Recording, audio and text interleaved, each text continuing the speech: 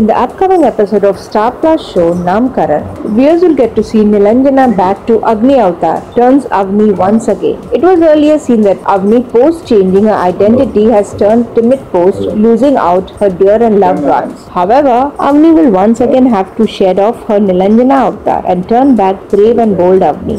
Yes, Avni will once again be seen as a brave supergirl, Avni, with a mission to save Shai On the other hand, Neil too will be seen in a super cop avatar even though he is no more any cop. Neil will also get determined to trace down Saisha. So what do you feel about this? Keep watching our channel TV Prime Time for more such exciting updates and upcoming twists.